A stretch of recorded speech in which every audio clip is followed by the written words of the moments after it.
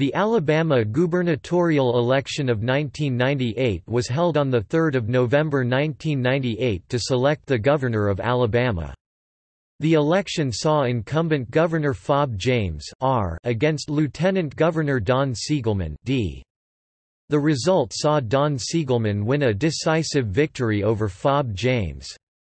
As of 2018, this is the most recent election in which a Democrat was elected governor of Alabama.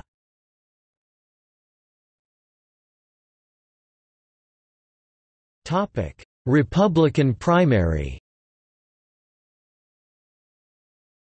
The Republican primary took place on June 2 and saw no candidate secure over 50% of the vote, leading to a runoff on June 30.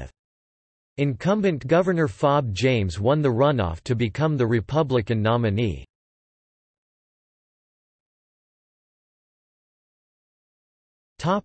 Candidates Winton Blount, businessman, candidate for governor in 1994 and son of former U.S. Postmaster General Winton M. Blount Guy Hunt, former governor Fob James, incumbent governor Mac McAllister, businessman Phil Williams Sr. Former director of the Alabama Department of Finance Topic Results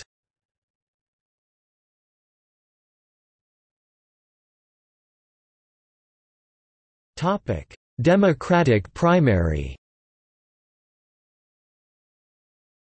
The Democratic primary took place on June 2 and saw Lieutenant Governor Don Siegelman easily chosen as the Democratic nominee over Birmingham attorney Lenora Pate and Wayne Sowell.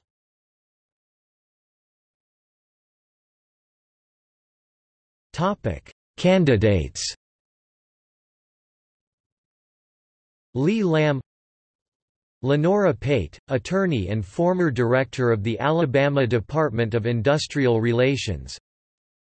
Don Siegelman, lieutenant governor of Alabama.